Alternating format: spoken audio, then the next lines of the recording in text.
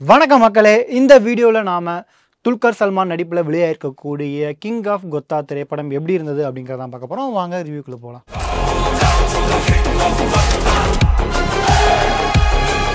இந்த படத்தினுடைய கதையை பற்றி சொல்லணும் அப்படின்னா ரொம்பவும் புதுசாக ரேரான கதைலாம் அப்படிங்கிறது நமக்கு ரொம்பவும் பரிச்சயமான ஒரு கதை தான் கேரளா இருக்கக்கூடிய கொத்தா அப்படிங்கிற ஏரியாவில் வந்து கண்ணன் அப்படின்ற ஒரு கேங்ஸ்டர் இருக்காரு.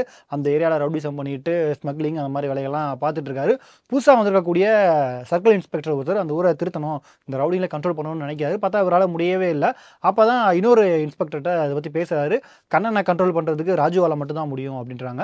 அப்போ தான் யார் ராஜு அப்படின்னு விசாரிக்கும் போது கண்ணனும் ராஜுவும் நெருங்கிய நண்பர்களாக இருந்திருக்காங்க. ஒரு காலத்தில் நடுவில் சண்டை ஏற்பட்டு ராஜு வந்து ஊரை விட்டு வெளியே கிளம்பிட்டாப்புல ஸோ யார் ராஜு? நண்பர்களாக இருந்த இவங்க ரெண்டு பேரும் எப்படி எதிரிகள் ஆனாங்க ஊரை விட்டு போன ராஜு திரும்ப ஊருக்கு வந்து அந்த ஊருக்கு கிங் ஆனாரா இல்லையா? இதெல்லாம் தான் இந்த கிங் ஆஃப் கொத்தா திரைப்படத்தினுடைய கதை. இந்த படத்தில் துல்கர் சல்மான் சார்பட்டா பரம்பரையில் டான்சிங் ரோஸாக வந்த நம்ம ஷபீர் நடிகர் பிரசன்னா கோகுல் சுரேஷ் ஐஸ்வர்யா லட்சுமி சரண் சக்தி சேம்பன் வினோத் அப்புறம் இவங்க நம்ம அனிகா அப்படின்னு நிறைய நடிகர்கள் நடிச்சிருக்காங்க. கதையின் நாயகனா துல்கர் சல்மான். நாம் ஒரு சாக்லேட் பாயா ரொமான்டிக் பாயா பார்த்துட்டு இருந்தவர். இந்த படத்தில் ஒரு முழு நீள கேங்ஸ்டர் அவதாரம் எடுத்திருக்காரு. படத்தோட ஆரம்பத்தில் அந்த கேரக்டர் பார்க்கும்போது இவருக்கு செட் ஆவாரா அப்படின்னு நமக்கு தோணுது. போக போக நம்ம மைண்ட் அப்படியே மாறிடுது. ஓகே இந்த லுக்குக்கு அவர் கரெக்டாக தான் இருக்கார் அப்படின்னு. அவருடைய பர்ஃபார்மன்ஸ் இந்த படத்தில் நல்லா இருந்தது. நல்லாவே பண்ணியிருக்காரு அவருக்கு இணையாக படத்தினுடைய ஒரு வில்லன் தரமான கேரக்டரில் நம்ம டான்சிங் ரோஸ் ஷபீர் வந்து கலக்கியிருக்காரு. ஆக்சுவலாக துல்கரை விட இவருக்கு தான் ஸ்க்ரீனில்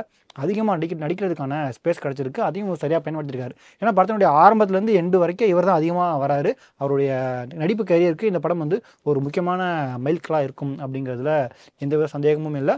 பிரசனா இவங்களாம் தங்களுக்கு கொடுத்துருக்க வேலையாக சரியாக பண்ணியிருக்காங்க. நடிகர் சேம்பன் வினோத் அவர் வந்து இந்த படத்தில் வெறும் ஒரு கேங்ஸ்டராக வந்திருக்காரு. சின்ன சின்ன இங்கிலீஷ் பேசி நம்மளை சிரிக்க வச்சுருக்காரு அந்த கேரக்டர் மூலமாக நடிப்பு நல்லா இருந்தது. ஆஹ் ஐஸ்வர்யா லட்சுமி வழக்கமான ஒரு கதாநாயகியாக வந்தாலும் சின்ன ரோல் தான். அந்த ரோல் அவங்க சரியாகவே பண்ணியிருக்காங்க. மற்றபடி எல்லா நடிகர்களும் நடிப்பு நல்லா இருந்தது. துல்கர் சல்மானுடைய அப்பாவா ஒருத்தர் நடிச்சிருக்காரு. அவருடைய கேரக்டர் நல்லா வடிவமைக்கப்பட்டிருந்தது. அந்த கேரக்டருக்கு இன்னும் முகம் தெரிஞ்ச ஒரு பிரபலமான நடிகர் நடிச்சிருந்தா அந்த கேரக்டர் இன்னும் ரீச் ஆயிருக்குமோ அப்படின்னு தோணுச்சு. ஃபார் எக்ஸாம்பிள் மம்மிட்டி சார் கூட அந்த கேரக்டர் பண்ணியிருந்தாங்கன்னா பிரம்மாண்ட மாசா இருந்திருக்குமே அப்படிலாம் தோணுச்சு.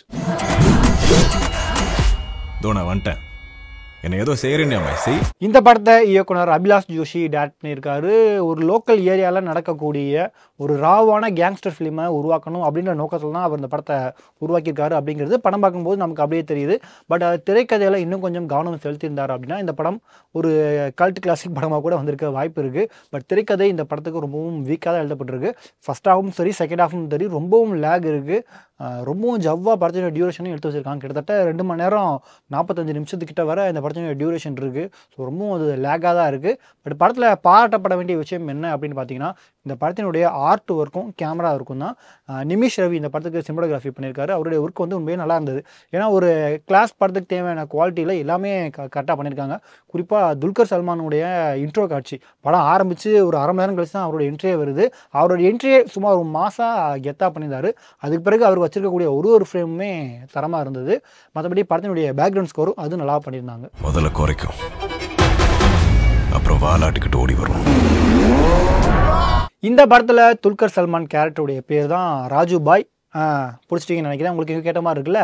எஸ் அது என்னமோ தெரியல. ராஜு பாய்னு நம்ம ஊரில் பேர் வச்சாலே அந்த படம் சரியாக ரிசீவ் ஆகுறதில்ல. இந்த படமும் கிட்டத்தட்ட அதே மாதிரி தான் படத்தோடைய ஆரம்பத்தில் ராஜுபாய் அப்படின்னு சொல்லும் போதே ஆஹா ரைட்டு இது அழிவுக்கான அறிகுறியாச்சு அப்படின்னு லைட்டாக பிங்க் ஆச்சு. படம் முடிஞ்ச பிறகு தான் தெரிஞ்சு ரைட்டு ஓகே நமக்கு அங்கேயே ஹிண்ட் வச்சுருக்காங்க அவங்க அப்படின்ட்டு. ஏன்னா படத்தில் சுத்தமாக எந்த இடத்துலையும் லாஜிக்கே ஒர்க் அவுட் ஆகவே இல்லை. சில காட்சிகள் கூட சரி ஓகே இதெல்லாம் மன்னிச்சு விட்டலாம்ப்பா லாஜிக்லாம் வேணாம் அப்படின்னு பார்த்தா ரொம்பவும் அபத்தமான காட்சிகள்லாம் இந்த படத்தில் நிரம்பி இருக்குது வழக்கம் போல் ரெண்டு ஆண்கள் பிரிஞ்சுக்கிறதுக்கு ஆண்களுக்குள்ள சண்டை உருவாகிறதுக்கு ஒரு பெண்கள் தான் காரணம். பெண்கள் தான் ஆண்களை ஏமாத்துறாங்க அப்படின்னு வழக்கம் போல் ஒரு கிளீஷியமான விஷயத்தையும் இந்த படத்துக்குள்ளே சொல்லி வச்சிருக்காங்க. துல்கர் சல்மான் நடிச்சிருக்காரு. படத்தை குழந்தைகளோட போய் பார்க்கலாம் அப்படின்னு தயவு செஞ்சு நினச்சிடாதீங்க. ஏன்னா படத்தில் வைலன்ஸ் காட்சிகள் ரொம்பவும் அளவுக்கு அதிகமாகவே நிறைஞ்சிருக்கு. கழுத்தை நெரிச்சே ஒருத்தரை கொள்றது வாய் வழியாக கத்தியை விட்டு இப்படி முது வழியாக எடுக்குது அப்படின்னு ரத்தம் தெறிக்க தெரிக்க இந்த படத்தை எடுத்து வச்சிருக்காங்க.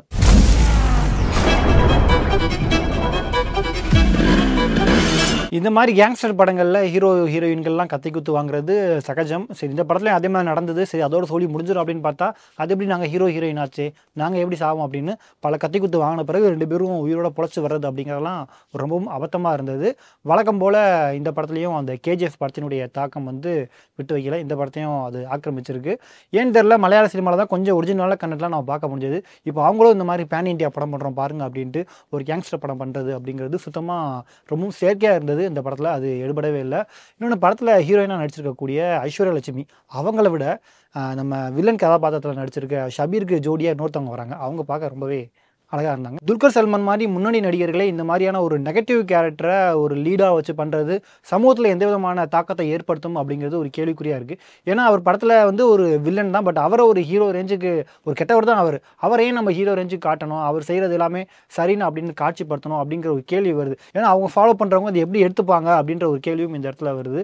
ஸோ இதெல்லாம் முன்னணி நடிகர்கள் எப்போ அவாய்ட் பண்ணுவாங்க? இல்லை காலங்காலமாக இதுதான் பண்ண போகிறாங்களா அப்படிங்கிறதும் தெரியல. ஆ. எனக்கும் பார்க்கணும். நீ வா. மொத்தத்தில் இந்த கிங் ஆஃப் கொத்தா படத்தை தேட்டரில் போய் நீங்கள் பார்த்தா ஐயையோ என்னை வெளியே விட்டுருங்க ஆத்தா அப்படின்னு கையெடுத்து கும்பிடுற அளவுக்கு தான் இருக்குது மற்றபடி துல்கர் சல்மானை ரசிக்கிறோம். அவர் மட்டும் ஸ்க்ரீன் எங்களுக்கு வந்தால் போதும். அவர் ரசித்தா போதும் அப்படின்னு நினச்சிங்கன்னா இந்த ஒரு விஷ பரீட்சையை நீங்கள் அனுமதிக்கலாம்.